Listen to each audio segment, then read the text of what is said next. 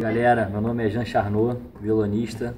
Estou concorrendo ao prêmio na categoria de melhor instrumental com a minha música Poético. Choro poético eu fiz para violão, ele tem um pouco da alma da, das coisas que eu andei ouvindo ultimamente, as minhas influências que foram Hélio Delmiro, Ginga, Marcos Tardelli e as próprias grandes matrizes do violão, principalmente Garoto, né, e Baden.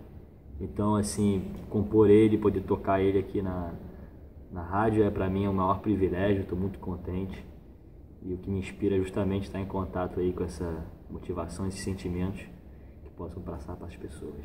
Galera, para votar na sua música favorita do Festival de Música, é só acessar o site radios.ebc.com.br barra Festival de Música. Vamos lá, vamos votar.